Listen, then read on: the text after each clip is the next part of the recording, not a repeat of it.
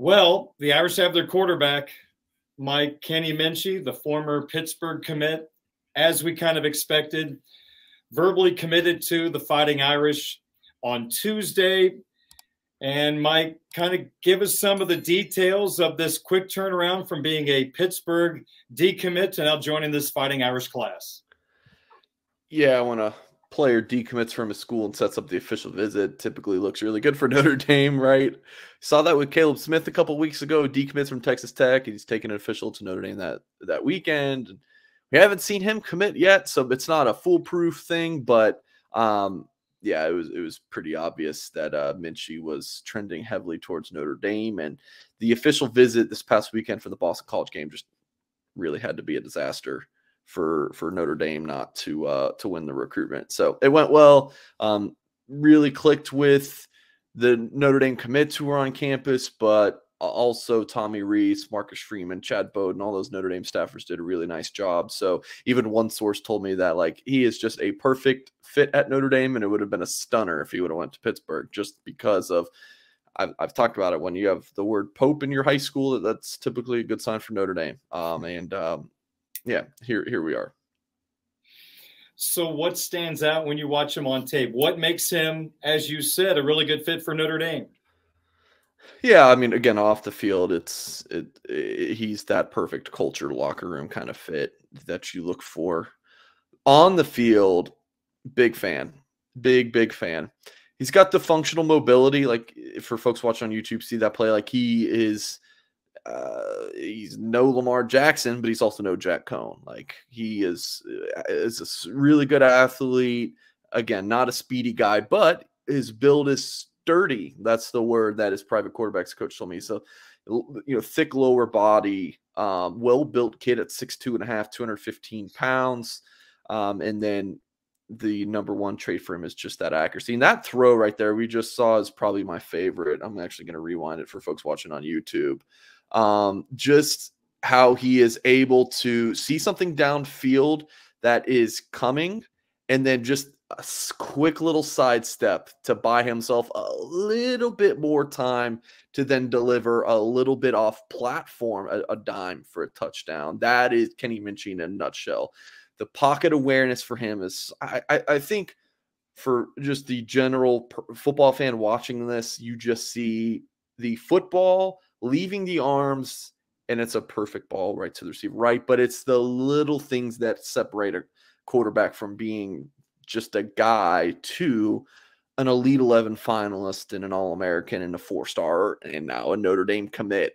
The pocket presence, um, just the overall overall awareness and feel of the game of football. That that's that's Kenny Minchey um, to a T. I, I'm very impressed with just him mechanically the um uh, the again the awareness, the accuracy, um, and the overall feel for the game. He's a really good gift for Notre Dame. He reminds me just slightly of DeShone Kizer a little bit by the way he stands in the pocket. Well, Mike, this is a guy that got an offer from Notre Dame over the summer, said no to Notre Dame. So, what do you think changed between July and this visit to Boston College? Was it Notre Dame being persistent, continuing to try to talk to him, trying to change his mind? What do you think it was? Hey, Darren, power in Notre Dame. We say that a lot of times, and I, I really think it was true here. I, when I interviewed him on uh, the days are running together, so we're recording this Tuesday. I talked to him Monday um, afternoon about his commitment, and I said, I, I, I said, Kenny, let me just lay out how I've seen this come together. And you tell me if I'm wrong. And, you know, I was like, look, Notre Dame offered in late July, but then August is a dead period and your season's your senior season starts. So you're not really going to be focusing on recruiting, right? Focusing on that senior season, and you can't take a visit in the month of August again because of that dead period. And then he gets injured a few games into a season. So then his focus is on rehab. So he's got that Pittsburgh commitment locked in. He's feeling fine with that recruiting and a potential flip to Notre Dame's the last thing on his mind. It is senior year and and getting over this shoulder injury, which was on his throwing shoulder, but I'm told no no long term concerns there. He should be just fine. Um, but uh, yeah, Darren, he just goes through senior season, and the the key for Notre Dame here was to not give up. Um, they stayed on him, just kept consistent, nothing overbearing, or it wasn't too much or too little. It's just every week, every two weeks, Tommy Rees, Marcus Street, and Chad Bowden texting or checking in, texting him here and there to just keep things warm for when he was ready to, you know, potentially open things up. And um, just a couple weeks ago, Minchey had a conversation with with Tommy Rees and um, Minchey just said, "All right, I'm just." So this is kind of a long way to answer your question. He just got a text and he was like, "All right, I think it's time to consider this." So his parents were pushing for Notre Dame.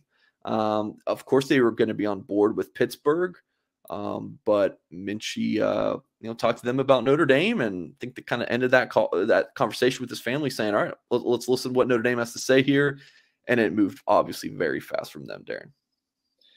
Well, I understand that for the average Joe, the star system is a really good way for them to understand how good this player can be at the collegiate level. And I know he's a four star. But let me go beyond that as I wrap up my Minchey conversation with you. Here's what I like to know. When you look at the tape and when you know the young man, you get to know him a little bit.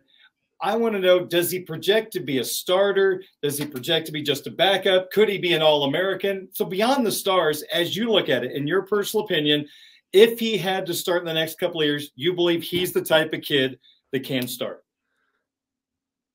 Oh, absolutely. Obviously, yeah, he can start. Yeah, for sure. Yeah.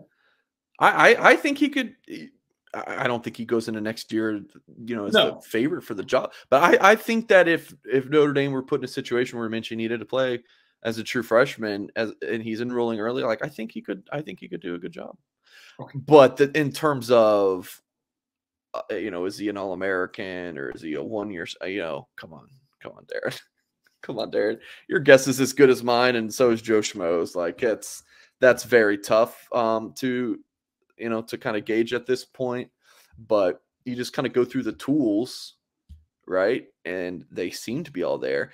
I mean, you're if you're gonna criticize his game, it's it's you're nitpicking. Okay. Could he be a couple inches taller at like you know be six four six five? Sure. You know, could he also run a four four? sure. You know that that's not him. Um, I, could he throw it? You know, w- with a bit more velocity and be able to throw it 60 yards, sure. Um, you, can improve everywhere, but the accuracy, the pocket presence, the leadership qualities, he looks pretty good to me, Darren.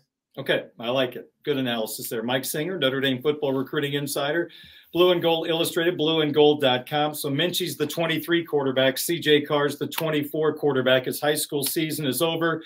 Give me a synopsis. How good of a year did CJ Carr have?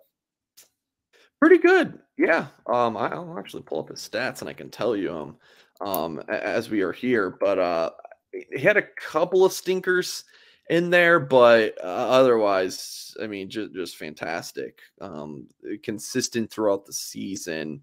Um, tw- 222 of 326. That's 68% completion um, 2,685 yards, 26 touchdowns, just five picks, and that's across 11 games.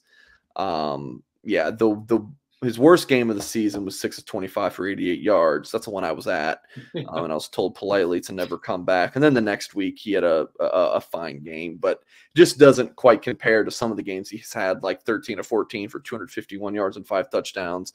So um, yeah, he, he's holding himself to a high standard when he has games like that. But overall, Darren CJ had a, a, a really good year in my opinion.